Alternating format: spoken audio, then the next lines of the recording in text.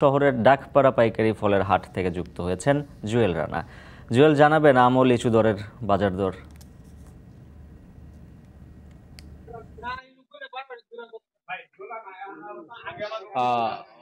উজ্জ্বল জামালপুরে সপ্তাহের ব্যবধানে আম এবং লিচুর দাম কমেছে, অর্থাৎ সরবরাহ বেশি থাকার কারণে। আজকে যদি আমি প্রথমে লিচুর দামটি জানাই। লিচু আজকে এই শহরের ডাকপাড়া পাইকারি হাটে বিক্রি হচ্ছে প্রতি শ লিচু, দেশীয় জাতের যে লিচু রয়েছে, সেই লিচু বিক্রি হচ্ছে একশো ষাট থেকে একশো সত্তর টাকায়।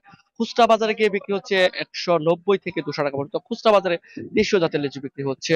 আর যদি বলি মাদ্রাজ এবং বোম্বাই জাতের যে লিচুটি আসছে, সেটি বিক্রি হচ্ছে একশো আশি থেকে দুশো টাকা পর্যন্ত। সেটি খুচরা বাজারে গিয়ে দুশো তিরিশ থেকে চল্লিশ টাকায় বিক্রি হচ্ছে। আর এই লিচুগুলো পাবনার ঈশ্বরদী, পাবনা জেলা সহ বিভিন্ন জেলা থেকে লিচুগুলো আসছে। আর জামালপুরের কিছু কিছু আগাম জাতের লিচু কিন্তু হাটে আসতে শুরু করেছে। আর যদি আমের বাজারের কথা বলি তাহলে সাতক্ষীরা থেকে যে আম জামালপুরে এই পাইকারি হাটে আমদানি করা হয়, সেই আম আজকে গোপালভোগ বিক্রি হচ্ছে প্রতি কেজি পঞ্চান্ন থেকে পঁচাত্তর টাকা সর্বোচ্চ আশি টাকা পর্যন্ত বিক্রি হচ্ছে। গোপাল বুক গোবিন্দভোগ, দুটো জাতের আমি কিন্তু পঞ্চান্ন থেকে আশি টাকা পর্যন্ত, সর্বোচ্চ আশি টাকা কেজি পাইকারি বিক্রি হচ্ছে। এটি খুচরা বাজারে গিয়ে সেই আম বিক্রি হচ্ছে নব্বই থেকে একশো দশ টাকা পর্যন্ত বিক্রি হচ্ছে। আর এই বাজারটি সকাল থেকে শুরু হয় প্রতিদিন এই হাটে সাত থেকে বারো লক্ষ টাকার ফল এই মুহূর্তে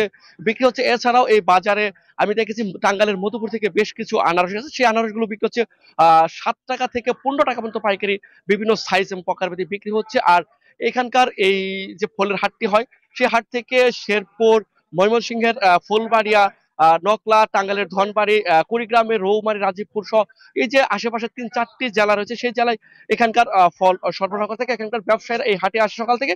তারা এখান থেকে ফল, পাইকারি সংগ্রহ করে তারা নিজ নিজ যে হাট রয়েছে, নিজ নিজ জেলায় সেই হাটে কিন্তু তারা এই ফলগুলো বিক্রি করে থাকে। আর বলা চলে সামনের দিনে আরও ফলের দাম কিছুটা কমবে বলে এখানকার যে ব্যবসায়ী রয়েছে, যে আড়তদার রয়েছে তারা জানিয়েছে আর ইতিমধ্যে আমরা দেখেছি জামালপুরের ফলও কিন্তু বাজার আসতে শুরু করেছে।